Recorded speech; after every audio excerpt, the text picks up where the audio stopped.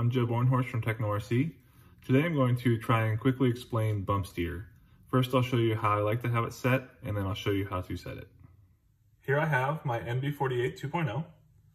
So all that bump steer is, is a change in toe as the suspension compresses. Now if you have positive bump or bump out, as you compress the suspension, your toe out will increase. You can see that my angle is consistent until the top, my toe out increases. That's how I like to have mine set.